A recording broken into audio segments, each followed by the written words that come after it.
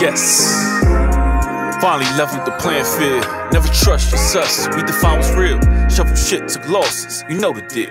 It was never an option miss a meal. It was never an option skip a bill. Got low, mindset of a Navy SEAL.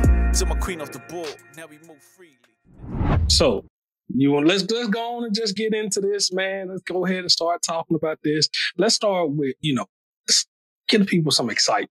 Let's talk about the Eagles. Man, now Perez, before the I'm I'm before the season started, right? I had high hopes for Jalen Hurts. I kept saying it all last year that if he could put it together and he had some weapons around him, they started running the ball towards the, the I'd probably say towards that quarter of the season last year when we realized we didn't really have no receivers. You know what I mean? So we started doing that and running the ball effectively to the tune of being the best rushing threat in the league last year. And everybody has continuously said, Pratt, as long as Jalen Hurts puts it together through the air, and he's doing that, and he's doing that like in droves this year, and he's using his feet.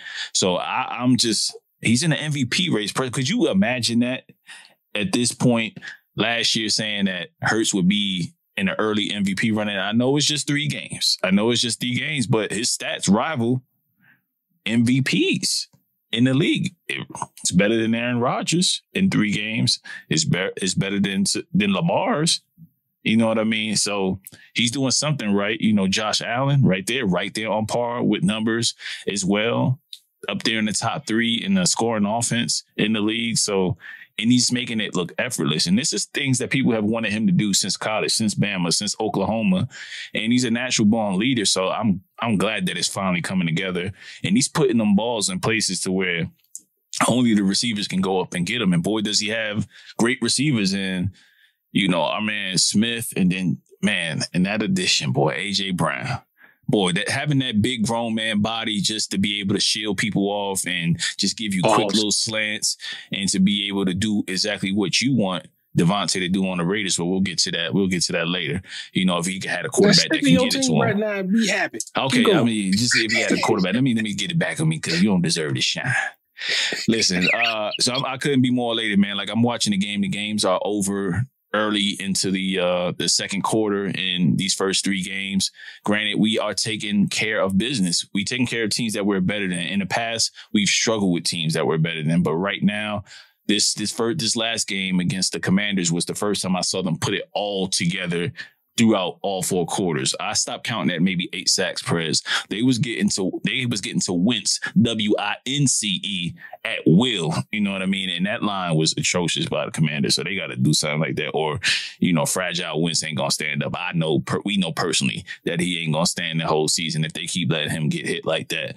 That you know, I felt I, I shed a little thug tear for him at a certain point in that game. But yeah, in all facets of the game, man. Special teams, defense, um, the uh, that D line press, that D line is doing their damn thing. Best D line in the league, hands down.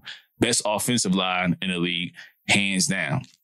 So that's why he's having that time to look around, do what he needs to do, is because the offensive line is just giving him that time. And I, I can't be more proud of, of this guy being able to, in year three, really year two put it together and just really kind of go on this run. We're looking like 2017 again. I feel like we're going to be the chance, barring a catastrophic injury to Hurts possibly, you know what I mean, or one of our star receivers, man. And you know he's he's just now cooking, man. He's just now cooking. He haven't even really got started with Dallas Goedert or anybody else, and um, you know shut down corners press. We have shut down corners. Hey, Slay. We have shut down corners, and Bradberry's doing. He came in is doing his thing. Our safeties are shoring things up. I mean, we only gave up like maybe one, two big plays, and that was like maybe mid third quarter. You know what I mean? When the Commanders uh, went ahead and got that score, but I mean, if we wasn't running the ball and playing it safe and not really trying to get hurt or run up the score, man, that that easily could have been forty points out there because they just couldn't uh, defend it after a while once we found those little pockets um, out there uh, for Hurts to throw to. So, yeah, I couldn't be more excited, man. All all sides of the ball, man. Sure tackling, like everything that has worried an Eagles fan for the last few years when we've been up and down since that championship win. And since that championship win, I repeat, um, you know, I don't have no doubts that we could play with anybody in the league. I don't care what quarterback. I don't care um, if you're talking about if Tampa's healthy, if Green Bay, like I, I, just don't see it, man. I just don't see this defensive line and that that secondary not putting hats on Tom Brady often. You know what I mean? And you really can't count on the receivers that Tom Brady has to be healthy. I mean, I think it might be time for, you know, Julio Jones and, you know, Green Bay just doesn't have the guys. So in the NFC, you would probably say the Rams are the other team. I'll give the defending Super Bowl uh, champs that respect. But other than that, I think we got to be the lead dogs in the NFC based on what America has seen. They may not want to say it, but they're gonna have to soon. They're gonna have to soon, Perez. So uh, that's that's my quick take on the Eagles, man. I couldn't be more excited. Um, so so uh, go ahead.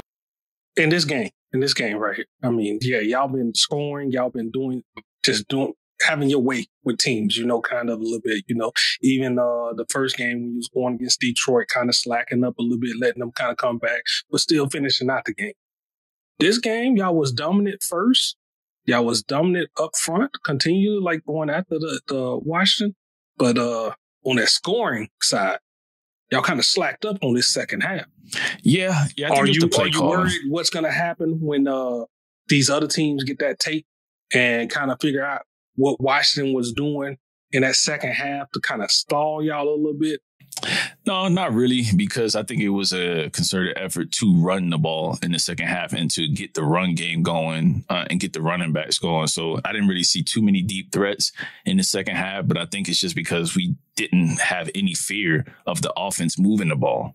To be honest with you, so that was time to practice the- theoretically. So I don't think um, the Commanders.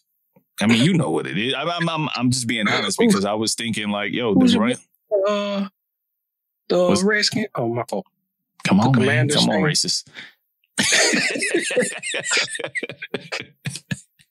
the yeah. Commanders fan. I don't know who. I mean, I got a few Commanders fans out there. You know, shout out to my own girl Lisa. Shout out to my man uh, Dan. Like they ain't even hit me up about bets that we typically have. You know, often in the season to where we change. You know, little covers on Facebook. You know, something light. They didn't even. They ain't. No, they ain't want no smoke this year. That's how I know we good. You know, because when people avoid me and don't even don't even say that, like this is stuff we've been doing for years. Like they just avoided yeah. it. So, um, but yeah, I, I thought I do think it was just an opportunity for us to see where our run game is at because nobody really has gotten started um, as the lead back. I know we have three three backs and um, we run them for a reason because Miles Sanders is continuously hurt. However, I think it was good to give them the ball and try to see who could work best. And I don't think we was just trying to run it up on them, man, because we we really could have. So, uh, what's your thoughts on you know the game that's going on like right now as we watch this? Uh, I know y'all have been dominant uh, on your wins and all this little stuff where, where your offense have been, you know, showing the that it can move and the defense have consistently got better uh, in each and every game. But uh, your record is three and zero. Oh. You have a counterpart in your same division that could be three and zero oh here as well. A little bit different takes on it, but a win is a win, loss is a loss, and neither one of y'all got it. So say what you want to say. Y'all will be neck and neck, right? Yeah, yeah, we will be, we will be, but uh, I, I don't think talking about the New York Giants, Giants, and the uh, the Cowboys here. So, uh, do you? Does anybody really fear either one of those quarterbacks in a close game or a game to where they got to make a play or two or several? I don't, I don't, and and even though Dallas has a great defense. In my opinion, they have a great defense or a formidable one that will give us some fits. You know what I mean? Because they do have some some good corners, and of course, Micah is just a man amongst boys out there in his second year. So I do worry about that. But on the flip side, I have no doubt that we will get to that quarterback early and often, and we may just take take the game over on defense ourselves. So they have to worry about that this year. You know what I mean? Um, before other teams, you could insert whatever quarterback and these guys was going to have a decent time out there because we just couldn't do what we needed to do and as far as locking teams up that we were supposed to beat. So I think this year will be a change. Again, it's just early 3 and 0, but we do have um, a a easy schedule for the most part, but the the important thing is we have to get these first 9 games I want to say that we have, we have to win I mean, of course, you want to win all of them, but we have to dominate in the games we're supposed to win in order to, you know, get that confidence going. Giants, not worry about Daniel Jones at all. At all. Saquon Barkley, if he, you know, is healthy, absolutely. Um, that's that's the one area I will say, if if anything, was the run game. Detroit gave us fits um in the run game throughout the game. So that's that's probably the one thing I'll be worried about. But I'm not worried about Dallas or or not, New York not if I'm being honest. Danny. All No, oh, right, man. That's enough. I'm, I'm tired of seeing you so happy. I don't want to talk about it. Let's let's talk about these Raiders, man. before before do you want to get into do you want to bring our guests in before you get to Yeah, get let's, the let's bring our guest in, and then we'll go back. Yes. Finally leveled with the playing field. Never trust your sus. We define what's real. Shuffle shit, took losses. You know the deal. It was never an option to miss a meal. It was never an option skip a bill. Got low, mindset of a Navy SEAL. Took my queen off the board. Now we move freely.